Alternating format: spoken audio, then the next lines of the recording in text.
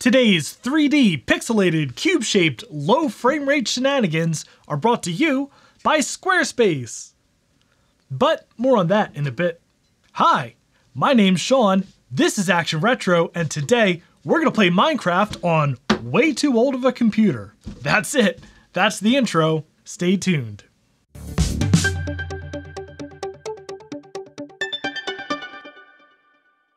And if you enjoy the sound of mid 90s computers struggling at the brink of their processing capacity, I hope you'll consider subscribing to the channel. So today's video is the culmination of several weeks of hard work. And by hard work, I mean scrounging up rare and sometimes modified decades old hardware upgrades to create a computer with specs that would literally not be believable in 1997. This PowerMac 9600 came stock with a 300 MHz processor, 32 megs of RAM, and an 8 megabyte video card. We've since upgraded it slightly to a 1 gigahertz G4 processor, 1.5 gigs of RAM, and a hacked up 128 megabyte video card. If you haven't seen the previous videos, check those out right here. And all of this in the pursuit of one singular, lofty, ridiculous goal that some of you may have been expecting if you've been around this channel for a while. Just like we've done many, many, many times in the past, we're gonna try and run Minecraft on this thing. That's right, a game that was originally released in 2011 on a computer from the dawn of the internet age. So to all the people back in 1997 who said, Macs can't game, I'm gonna show you right after this word about today's sponsor, Squarespace. Create a fast, beautiful, and rich web experience for your business or brand using Squarespace's powerful all-in-one platform. It's really easy to get started, like say I wanted to build a website for my exclusive club, the Minecraft on Way Too Old of a Computer Players Club, a club that I've just made up. Not only could I build it in minutes with Squarespace, but I could do it without writing a single line of code. There's a ton of beautiful templates that I could choose to start from, and from there, it's simple to build a great looking site that's also fast, responsive, and works great on mobile devices. With Squarespace's extensive built-in toolset, I can also optimize for SEO, manage a mailing list, check my analytics, and much more, all geared towards managing your entire web presence. I'm so grateful to Squarespace for being a longtime sponsor of this channel. So check out squarespace.com slash actionretro today for a free trial. And when you're ready to launch, use code ActionRetro to save 10% off your first purchase of a website or domain. Okay, so before we actually fire this thing up, I wanted to give a quick update on last week's video, which we left on kind of a cliffhanger. And a lot of people actually messaged me curious about how we actually got Mac OS 10 to install on here. It was actually pretty easy. It worked for me pretty much the first time installing from original macOS 10.4 Tiger install media. It took quite a while because I used a single speed DVD ROM, and uh, well, I actually wound up just installing it straight to the Blue SCSI. I was originally installing it on a SATA SSD using a PCI SATA controller card, which was working, but the computer was unstable with this installed.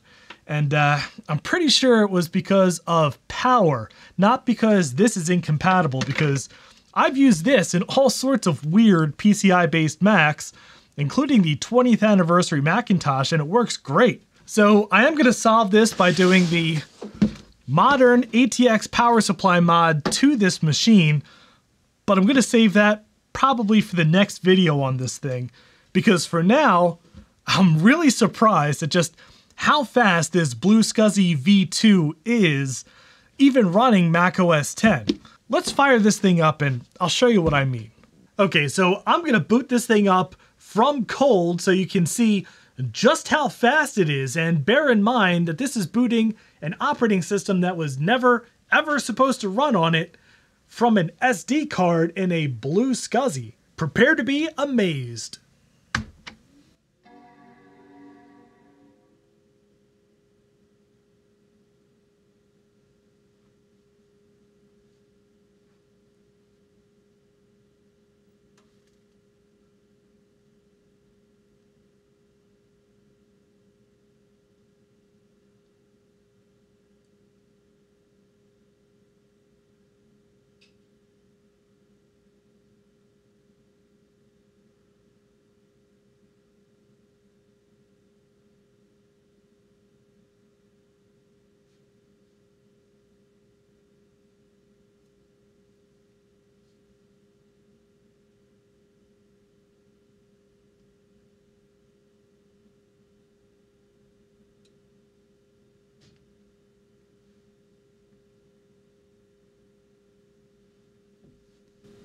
And that's it.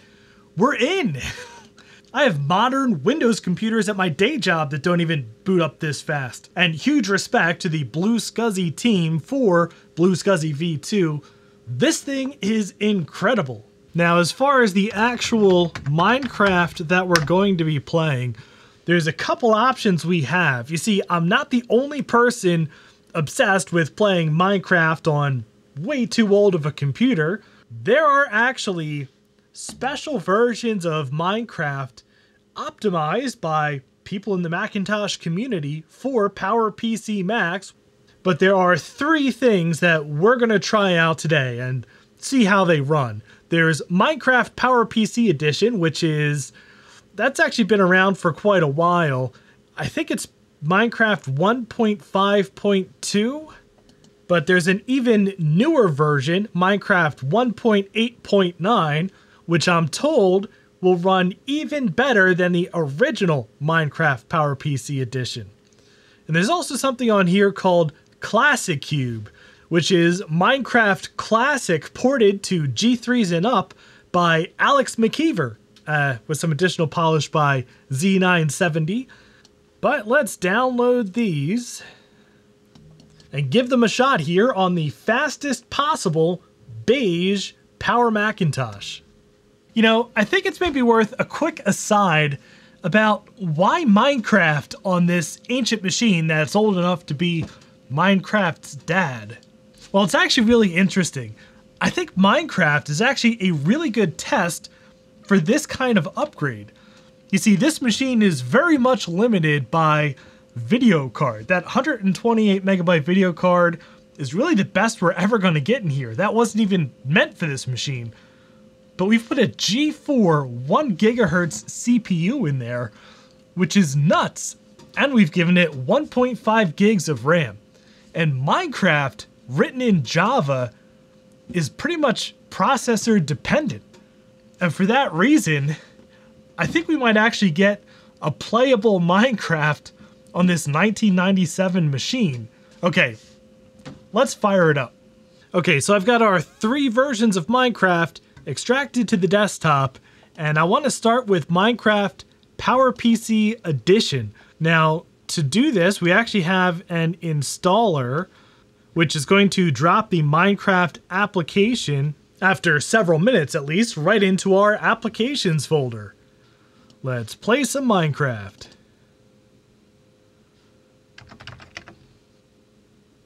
All right, and here we are in Minecraft 1.5.2. Now this was the first version of Minecraft optimized for PowerPC by PowerMac fans, and basically what this has is a bunch of plugins, well, mainly Optifine, with everything tuned down as much as possible. So all of the quality settings are, well, basically off, and all the performance metrics are set to be as forgiving and non-taxing as possible. All right, let's do single player. We'll create a new world, and we'll set it to creative because that's less taxing. And create new world. Let's see how long this takes. Okay, we are finally loading in, and uh, that took 14 minutes to generate this world. 14 minutes with me wiggling the mouse to make sure it didn't completely freeze. ah, wow, that's 14 minutes of my life I will never get back. And is it worth it? Well, judging by this frame rate, uh, this is much worse than I expected. But the world is still loading in, so I guess let's give it a second to finish. And also, it looks like we're loading into the dense forest, which is the worst biome for frames per second because it's very complicated. All right. All right, well, after several more minutes, the world has loaded in, and it looks beautiful when we're standing still here. But try to move, and uh, it's a little bit janky. Oh my god. Alright, so we can hit F3 to see our frame rate. And we've got one. spiking to 2. All right, next up is Minecraft 189, so a newer version of Minecraft. Although I've heard that this is actually better optimized than 152, which I don't totally understand, but let's find out. The way to launch it is we have a runme.sh, which is a shell script, and all we have to do is drag that onto a terminal window, enter our name, and this will load Minecraft just without the frills of the nice pop-up window in 152. Okay, here we are in Minecraft 1.8.9 and I can already see some pretty major differences. I think this is optimized in a lot of ways that the previous 152 wasn't. I mean, we can see that the font up here is changed. This text is going a lot more smoothly. But let's create a new world. Game mode creative, but we'll leave this with the default generation. Let's see what it does. And if it takes another 15 minutes to generate. Holy cow, that took maybe four minutes as opposed to 15. That's crazy. And we're loaded into the forest. And look at that look how much faster it is. I mean, no, it's not fast. We're getting like three to five frames per second. But compare that to the frames we were getting in 152. This is actually, if you squint, playable. this certainly has had a lot more optimization than the 152 PowerPC Minecraft. Yeah, look at this. I can actually play. Hey, cows! Come here, cows. Prepare to get punched. Okay, and last up we have ClassiCube, which is a port of Minecraft Classic. And the big thing about this is it was ported to C to be able to run much, much faster natively on PowerPC. And according to the MacRumors forum post announcing it, they were getting 20 frames per second on a 500 megahertz G3. So, yeah, let's see how it goes on a 1 gigahertz G4. Whoa! Oh, look at that! Okay, full screen doesn't work for some reason. It tries to do something out of the monitor's scan range. Oh, has the music and everything. Yeah, but look at this. Look how smooth it is. Oh my god. This is magical. Whoa. I guess you can super run in this game by holding down shift. oh, look at it. It's like a miracle. Alright, so don't actually know how to place a brick. Yeah, with my single button mouse, it seems all I can do is smash things. I can't actually place them. Oh my god, this says it's running at 55 frames per second. That is... That's incredible! Oh my god. 55, 56 frames per second. This is just a straight up normal good Minecraft experience. Alright, so I found a nice two button wireless USB mouse and I've put a Sonnet USB and Firewire card in there. And now look at this. I have the full Minecraft experience. This is just beautiful. Alright, let's see what TNT is like here. Oh, it just immediately explodes. this is absolutely amazing. I cannot believe how well this works on this machine.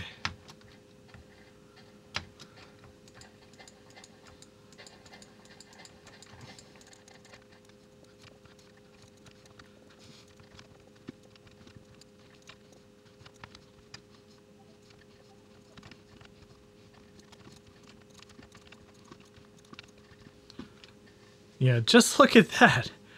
This is the real deal. ClassiCube is incredible.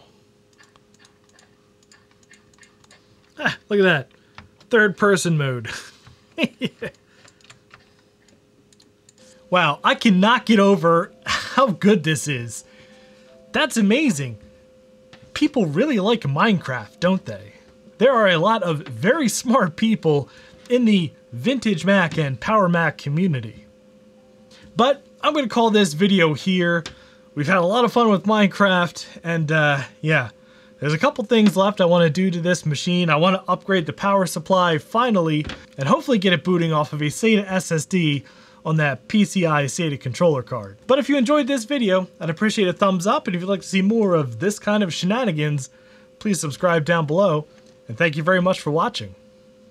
And a special thanks to Alex Hoffman, Camilo Noseda, Chris Allegretta, Chris Biggs, Chris Calderon, Chris Nelson, Control Alt Reese, Daniel Hubbard, Greg Hrutke, Jason Pepez, Justin Hemmings, Justin Reed, Lyle Truid, Michael Mulhern, Paul Spencer, Ryan, Scott Thompson, Sutek, Tom Woodfin, and Unknown Soldier 41, who are my highest tiered patrons and all of my Patreon supporters for helping to make these videos possible.